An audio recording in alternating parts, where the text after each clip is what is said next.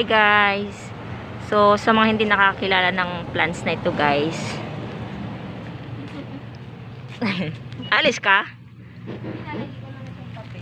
Ah, kala ko alis ka eh. Ito ay ano, tag ito, creeping wood sorrel. Ganda to siya sa ano, sa may anong tawag nito?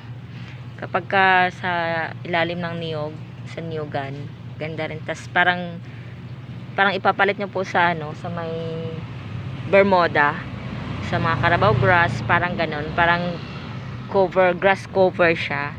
Ang ganda to tingnan, guys.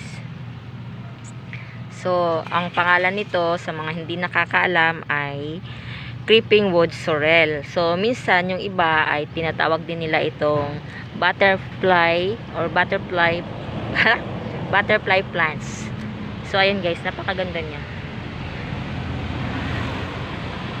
Ang ganda kanya. Tapos tuwing umaga yan, namumulaklak siya ng dilaw. So, ganyan yung bulaklak niya. Yun lang.